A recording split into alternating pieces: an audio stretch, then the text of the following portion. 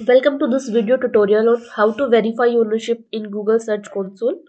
Uh, basically, Google Search Console is a free tool that provides website owners with valuable insights into how their website is performing on Google Search. In this video, uh, I will be showing you that how you can verify your website ownership in Google Search Console so you can start using its features. So let's start the video.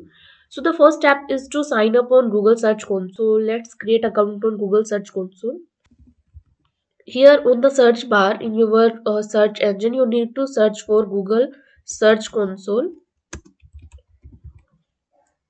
and then press enter. Here the first website that is search.google.com slash search console. Click on that.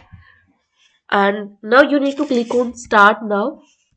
Here fill your required email address and our email address is this click on next. Okay so this is our google search console dashboard. Now we need to add our property. Here you can see that we already have a property on this email address uh, and we want to add one more property. So click on that property.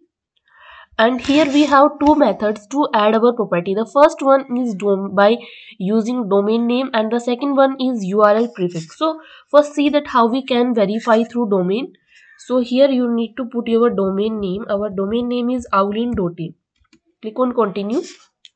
And now it's asked to add a text record in our dns so for that you need to visit your domain panel. And here you need to uh, configure your dns here uh, what you can do you go to your dns configuration and then add this text record. Copy this option uh, copy this text and paste in that text record option okay? And then click on verify. So this is how you can verify your domain using domain name. And the second option is by using url of your uh, url of your website.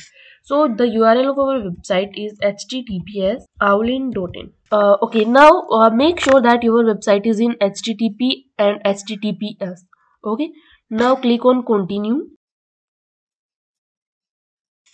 Now it's giving us some methods that uh, here are some methods which we can use to verify our ownership. So the first thing is by attaching this html file to our existing files of the website okay? And the second option is an html tag which we need to add in our home page header section. So we are going to use this method copy that text. And here we have some other options as well like google analytics google tag manager and domain provider name. You can verify by these other all by these options as well. So go to your website dashboard. This is the easiest method you can follow while verifying your ownership. Okay so this is our website dashboard. Now check that you have a plugin named as header and footer. Insert header and footer option if you don't have that plugin then you need that uh, you need to install that plugin. So here we do not have that plugin. We need to install that. So click on add new plugin. And here search for and here search for insert header and footer. Okay now here we have some plugins. Now click on install now on the first plugin. That is WP code insert header and footer plus custom code snippet WordPress code manager. Install the plugin and activate the same. Okay, so here our plugin is activated. Now we need to put that code in the header section.